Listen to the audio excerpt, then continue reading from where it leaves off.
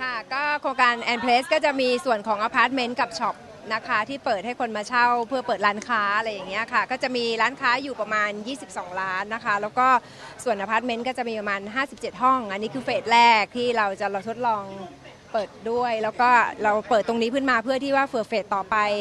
เวลาที่ลูกค้ามาอยู่มาเช่าเนี่ยก็จะได้มีที่กินที่อยู่ที่อาศัยที่ครบวงจรอะไรอย่างเงี้ยค่ะ ตั้งใจทำธุรกิจนี้ครับพี่ทำไมตั้งใจทำเป็นก็ก็มันก็คุณคุณเออาจจะถนัดทางด้านนี้ด้วยใช่ไหมคะอะไรอย่างเงี้ยค่ะก็ก็มาเลยมาทางนี้กันอะไรอย่างเงี้ยค่ะค่ะวันนี้บวงสรวงอย่างเป็นทางการแล้วเปิดวันวันนี้บวงสรวงแบบตั้งศาลค่ะ เพราะว่าเพราะว่าเอ่อลูกร้านค้าเขาอยากมี ที่พักพิงใจหมายถึงว่าเอาไว้ไหว้พระเราก็เลยตั้งศาลให้ลูกค้าด้วยค่ะการที่ใช้เงินไปเท่าไหร่ฮะค่ะอ๋อก็พอพอสมควรครับผมพอสมควร พอพอพอแง้มเลขกลมๆได้ไหมฮะประมาณโอ้ยอย่าไปโอ้ยอย่าไปประเมินมาเลยค่ะ นับนับจำนวนร้านค้าเอาเองละกันเลยจริง ๆ ถึงค่ะร้อยล้านที่เป็นขายไปร้อยล้าน โอ้ยอย่าไปพูดถึงมาเลยค่ะ เอาเป็นว่าแอนอยากให้นำเสนอในด้านที่ว่าเออแบบผลลัพธ์ที่ออกมาอะไรอย่างเงี้ยค่ะ เรามีฟังก์ชันอะไรให้ให้ใครมาใช้บริการอะไรอย่างนั้นมากกว่าอะไรอย่างเงี้ยค่ะโครงการใหญ่ที่เป็นอพาร์ตเมนต์ทั้งหมดเลยป่ะครับครับผมค่ะรับเพราะเพราะพอดีพอดีเริ่มต้นจากเป็นที่ของที่บ้านผมอะนะครับ แล้วก็ทางทางคุณแม่เอ่อบอกว่าที่ในกรุงเทพหายาก เราก็เลยมาหาว่าจะมาทำอะไร แล้วพอดีมันอยู่ใกล้กับโรงเรียนเอ่อปานยาอยู่แล้ว แล้วก็เผื่อเป็นที่รองรับทั้งผู้ปกครอง แล้วก็พื้นที่แถวนี้ซึ่งซึ่งมีนักศึกษามหามหามหาวิทยาลัย แล้วก็คนทำงานเอ่อเริ่มเริ่มเข้ามานะครับเฟสแรกของเราก็เลยเน้นเป็นคนโสดนะครับที่ว่าติดกับช็อปแล้วก็สามารถมาอยู่แล้วสามารถมีร้านอาหารให้ ส่วนด้านหลังของเรายังมีทั้งหมดเนี่ยมันเจ็ดสี่หกตึกนะครับผม ซึ่งตอนนี้ก็ได้ออกแบบในในในในส่วน 2 ตึกแรกเสร็จแล้วเหลือสี่ตึกหลังนะครับผม ซึ่งตอนนี้ก็วางวางทั้งหมดแล้ว แต่ก็คงเริ่มเริ่มต้นคงสองตึกแรกคงเริ่มเริ่มต้นปี แล้วก็ที่เหลือก็คงปลายปีครับผมครับเนื้อที่นะครับพี่เอเนื้อที่ประมาณเท่าไหร่ครับทั้งหมดตรงนี้เนี่ยของเราประมาณเขาเพราะเพราะเพราะมันมีที่เก่าอยู่แล้วของโรงเรียนก็ประมาณที่ใหม่ของเราประมาณ5 6ไร่ครับผมครับ phase phase สองเริ่มต้นประมาณต้นต้นปีครับครับผมอ๋อเราเราเราคืออพาร์ตเมนต์เนี่ยมันก็ต้องค่อยสะสมมันนะครับผมแต่ตรงนี้เราเราเห็นว่า มันเป็นเอ่อมันเอ่อธุรกิจเราอยู่แถวนี้อยู่แล้ว เราก็เลยค่อนข้างค่อนข้างเอ่อไม่ไม่ได้เล่นกับมันนะครับผมเนี่ยครับทำไมเลือกเราทำเป็นห้องเช่าไม่ทำเป็นขายไปเลยอะครับขายผมผมผมผมว่าขายมันก็มันก็หมดไปอะเนาะใช่แล้วก็ที่ที่เดี๋ยวนี้ในกรุงเทพก็ไม่ได้ไม่ได้หาง่ายใช่ไหมครับแล้วก็ตรงนี้เป็นมันมีธุรกิจโรงเรียนอยู่แล้ว เราก็เลยบอกว่าเออเราก็สามารถดูแลได้ใช่ไหมครับโดยโดยเฉพาะอย่างเนี้ยเราเราก็มาเรียนรู้เหมือนกันในอพาร์ตเมนต์ที่ว่าเอ่อ ผู้ปกครองบางทีมีเด็กต่างจังหวัดเข้ามาเรียนในกรุงเทพเขาก็ต้องการคนดูแลใช่ไหมครับเพราะเราเราก็มีคนสามารถเอ่อคุณพ่อคุณแม่ก็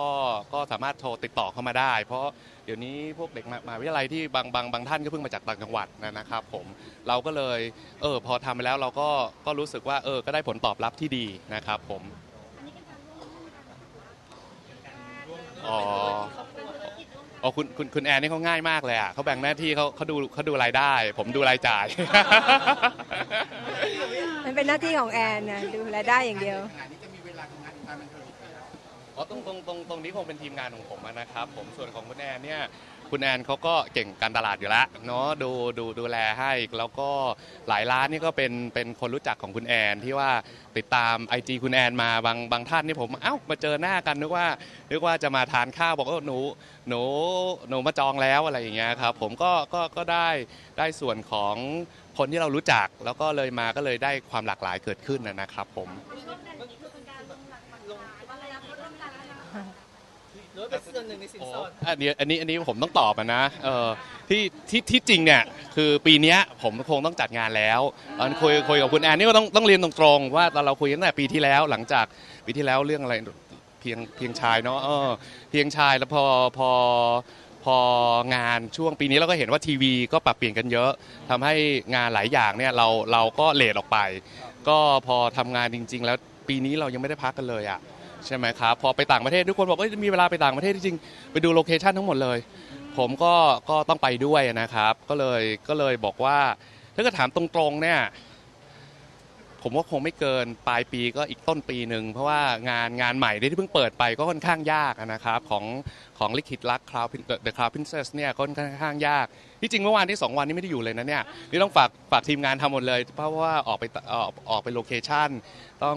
ทางพี่แอลเขาก็อยากได้เทคนิคพิเศษ เพิ่งกลับเมื่อคืนผมเข้ามาถึงกี่โมงนะเที่ยงคืนเนาะ มามามาเดินดูเนี่ยก็หมดแรงแล้วก็แต่ก็ก็แต่ต้องแต่แต่ทั้งหมดตรงเนี้ยของเราพอดีผมทำด้านนี้มามาสักพักละ ผมก็มีทีมงานที่ที่ไว้ใจได้ แล้วก็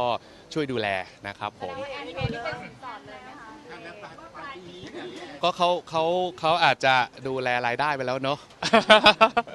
ครับผม คือน่าจะเป็นปลายปีนี้ชัวร์ๆไหมคะไปไปเออผมไม่ไม่ไม่ไม่ใช่ไม่ใช่ปีนี้นะเอ่อปะหมายถึงว่าต้นเออน่าจะเป็นปลายปีหน้า ไม่ก็ก็อีกต้นปีนะครับเพราะเพราะพอดีน้องผมก็แย่งไปเลยอะปลายปีเนี้ย ก็ต้องต้องก็เลยเพราะว่าอีกสองอีกสองเดือนน้องน้องผมจะแต่พี่ง แอนรู้สึกไงบ้างครับเริ่มมีระยะเวลาเกิดขึ้นละว่าเออจะเป็นปลายปีหน้าอะไรกำหนดมาละกำหนดชัวร์ๆอะไรอย่างเงี้ยต้องก็หัวใจเต้นเล็กน้อย ทำไมครับตื่นเต้นตื่นเต้น ไม่มีค่ะไม่ผมคงไม่ต้องไม่ต้องขอแล้แล้ววนะหรือต้องหรือต้องไม่ต้องไม่ต้องไม่ต้องขไม่ต้องไม่ต้องแบบไม่ต้องไม่ต้องไม่ต้องไม่ต้องพี่แอนอยากมีโมเมนต์อย่างนั้นหวานๆคุกเข่าขออะไรอย่างเงี้ย โอ้ยที่ทำไม่ได้หรอก ที่ที่จริงเราก็ก็ก็เจอกันคือคือทำคือช่วงสองปีนี้ทำงานร่วมกันเยอะอะนะครับ ก็เจอกันก็เจอกันเกือบทุกวันนะครับ ผมมันก็เลยคงถ้าเกิดถ้าเกิดต้องให้ขออีกนี่ผมไม่รู้จะขอยังไงแล้วเนาะ ก็มันก็คือก็เราเอาเราผมผมคิดว่ามันถึงอยู่ในในวัยวุฒิที่ที่ที่มันก็ก็เราไม่ต้องคุยอะไรกันเยอะแล้วนะครับ ก็รอรอจังหวะเวลา เพราะต้องเพราะเพราะเรียนเรียนตรงๆว่างานที่เราทำกันอยู่เนี่ยก็คือก็แบ่งภาคคุณแอนก็จะเช้าของผมก็ส่วนมากถ้าเกิดเข้าเข้าดูงานช่วงหลังก็จะดึกกัน อย่างนั้นเวลาทำงาน entertainment ทุกคนก็คงเข้าใจ เวลางานมันเข้ามาแล้วมันมันหยุดไม่ได้ ถ้าเกิดหยุดถ้าเกิดบอกแอนถ้าถ้าเกิดเดี๋ยวนี้ถามเพื่อนๆที่แต่งงานกันไปแล้วเนี่ยก็บอกโหอย่างน้อยต้องสามเดือนนะ ต้องเคลียร์ทุกอย่างของเราเนี่ยเพิ่งเปิดเพิ่งเปิดกองไป ก็ไม่รู้จะหยุดกันยังไงใช่ไหมครับในในในส่วนของเราแล้วงั้นงั้นถ้าเกิดหยุดเนี่ยยังเคยแซวคุณแอนเลยบอกถ้าเกิดแต่งนี่เรารีทายกันเลยไหมคุณแอนยังหัวเราะใส่ผมเลย จะจะแต่งแต่งแล้วหยุดเลยไหมไม่ไม่ไม่ไม่การแต่งงานเราพร้อมไหมคะ ก็ไม่ได้มีปัญหาอะไรนะคะ ก็แอนก็ได้อะเพราะว่าแอนก็ไม่ได้ซับซ้อนอะไรอยู่แล้ว หมายถึงว่าก็ก็มันก็มาถึงตรงนี้แล้ว หมายถึงว่าชีวิตมันก็แบบมันก็ไปต่อได้สบายมากอะไม่ต้องปรับตัวอะไรอะ หรือว่าตอนนี้จบวิกฤตแล้วก็ต้องดูว่าถ้าลิขิตรักแบบต่อยาวก็ก็ยาวไป แต่ถ้านี่เคยรักเร็วก็โชคดีไปอะไรอย่างเงี้ยค่ะวัดภาพล่วงหน้าข้ามปีเลยไหมครับงานแต่งงานโอ้ยจ ริงๆจริงๆที่คุยกันคุณแอนคุณแอนก็บอกเขาเขาไม่ชอบงานใหญ่ใช่ไหมครับ ผมก็ผมบอกไอ้ตรงการแต่งงานก็คงขึ้นอยู่กับทางทางทางคุณแอนนะนะครับ แต่ก็เราเราก็คงต้องต้องต้องทำให้มันต้องก็ต้องเชิญพี่พี่ๆทุกคนนะครับ แล้วก็เพื่อนๆคุณแอน แล้วก็พวกผู้ใหญ่ที่เรารู้จักอะนะครับ แต่แต่เราก็ไม่ใช่อายุวัยรุ่นแล้วอะเนาะเราเราไม่เน้นเหลือเกินเขารู้แล้วเขารู้แล้วไม่ต้องเน้นมากก็ก็ก็ค งก็ต้องก็ก็ก็อยู่ในอยู่ก็ก็ก็ต้องจัดงานนะนะครับผมจริงๆพี่แอนจะมีวาดฝันไหมครับว่าอยากได้แบบไหนงานแต่งเราอะยังค่ะยังไม่ได้คิดเลยค่ะ บอกหมดเดี๋ยวก็ไม่มาถามแอนกันอีกไม่เป็นไรแอนต้องเก็บไว้ก่อนเองเราต้องเก็บแล้วเราเรารู้เรารู้เทคนิคของพี่ๆเขางั้นงั้นเอเข้าอใจต้องแล้วพูดเนาะน้อยๆออ เวลาผมจะพูดเขาไม่ค่อยให้ผมพูดนะ พร้อมหมดแล้วทั้งงานทุกอย่างก็พร้อมหมดแล้วครับ พร้อมหมดแล้วครับ คุณแม่ผมก็ไม่เร่งแล้ว ใช่ไหมครับ ผม คุณแม่ผมเขาเขาไปเร่งน้องผมไปแล้ว ครับ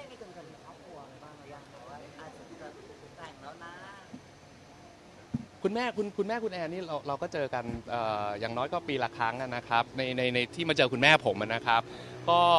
ที่จริงเขาเจอเขานัดเจอกันเมื่อสองปีที่แล้วได้ไหมแอนเขาเขารู้ยิ่งแย่เกินไม่บอกรายละเอียดเขา เขาเขาเขานัดเจอกันโดยที่อยู่ๆเขาก็ชวนผมไปทานข้าว แล้วคุณแอนเขาก็นิ่งเนาะเออก็ก็ไม่เขาเขาเข้าใจเราเพราะว่าช่วงนั้นเป็นช่วงที่เราเซตอัพทีมกันใหม่ใช่ไหมครับ แล้วก็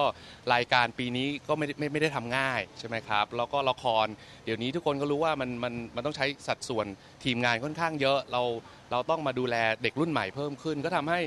อยู่มันก็หลุดเวลาออกไปอย่างอย่างอย่างณวันนี้เราก็คงต้องต้องตั้งหลักบอกว่าเขาคงปักปฏิทินไปเลยว่าแอนเอาตรงนี้แหละ ถ้าเกิดงานไม่ได้ยังไงก็ต้องฝากทีมงานช่วยกันดูแล้วกันเนาะขอเวลาไปแต่งงานก่อนแล้วก็กลับมา แล้วกลับกลับมาทำงานกันต่อครับผม ผมเองเป็นคนไม่ไม่มีเลิกหรอกค่ะคนเนี้ยครับ เขาเขาเอาสะดวกแอนว่านะครับ อะอะไรนะจ๊ะ ผมเองผมผมเองเอาเอา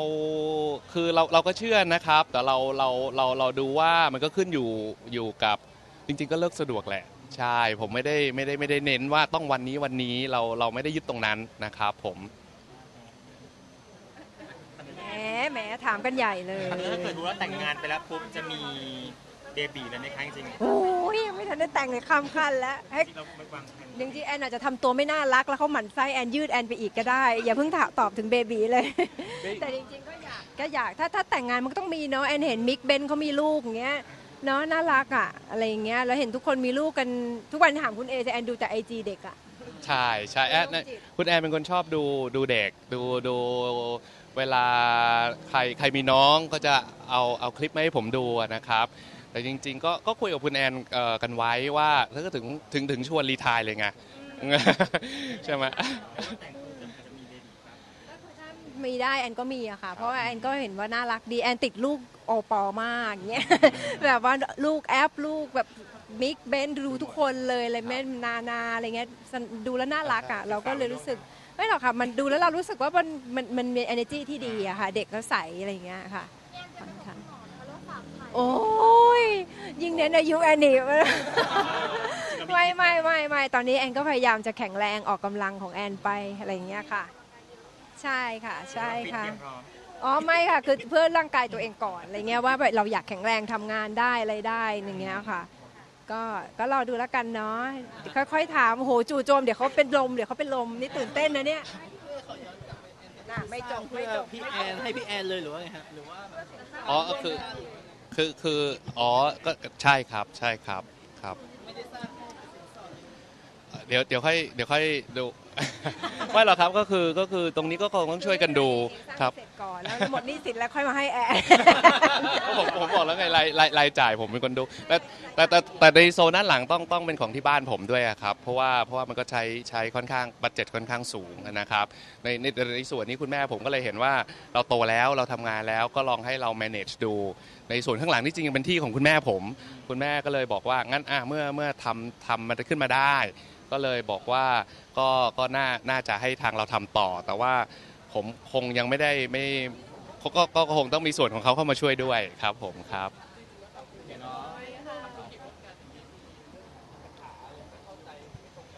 ก็ที่ที่ผมเรียนมันมันไม่มีปัญหามากเลยอะคุณคุณแอนก็บอกเรื่องเรื่องชื่อเรื่องเรื่องรายได้นี่เขาเป็นคนดูแลให้ผมเลยงั้นงั้นงั้นรายจ่ายนี่ผมต้องดูเองไอันนี้อันนี้แซวเล่นนี่แซวเล่นจริงๆจริง ๆ คือเรา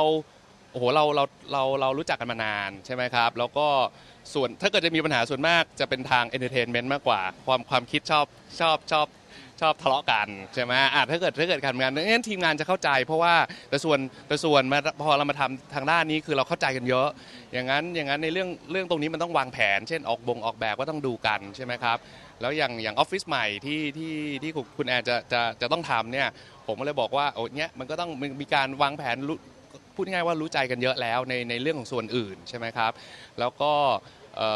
ที่ที่ผมที่ที่เราเน้นอของปีนี้กับปีหน้าก็คงจะเป็นในส่วนของงานละคร แล้วก็งานรายการทางคุณแอนเนาะแล้วก็ฝากรายการใหม่ด้วยที่ให้ผมดู ก็มีรายการกอดรัดฟัดเวียงค่ะ ทุกวันอาทิตย์ตอน7โมง50นะคะ ก็เป็นรายการครึ่งชั่วโมง 25 นาทีอะค่ะ ก็จะมีมิกเหมือนเดิมเป็นพิธีกรนะคะ แล้วก็มีหนูเล็กมาช่วยเป็นพิธีกรด้วยตอนนี้ระหว่างรอ ก็ก็ก็พอดีเราเราเราทำรายการ Family ใช่ไหมครับมามาสักพักแล้ว แล้วก็ถึงจังหวะที่ทางทางทางผู้ใหญ่ช่อง 3 ก็เลยบอกเอ้าเออพอไว้ใจเราก็เลยบอกว่างั้นลองดูวันอาทิตย์ดูไหมใช่ไหมครับ แล้วก็แล้วก็เราเราคือต่อยอดจากแก๊งรักเด็ก ก็พอมาเป็นวันอาทิตย์เราก็เอาใจคุณคุณน้าคุณป้าขึ้นมา เอาครอบเอ่อ ให้ผู้ใหญ่ดูได้ แล้วก็เรายังแต่เราก็ยังมีความเป็นครอบครัวนะครับผมแล้วก็เราก็เลยจังหวะพอดีคุณเบนเอ่อคลอดน้องเขาก็ต้องเขาก็ต้องขอเวลาพักใช่ไหมครับ เราก็เลยได้คุณหนูเล็กเข้ามาเข้ามาร่วมทีมเพิ่ม ก็เลยมีความหลากหลายมากขึ้น ผมก็สนุกนะพอพอทำหลายหลายเรื่องตรงตรงนี้ก็ต้องเรียนว่าคุณแอนก็สอนผม ในแง่มุมมองของของของคนคนคนคนคนดูหลากหลายขึ้นครับผม for now.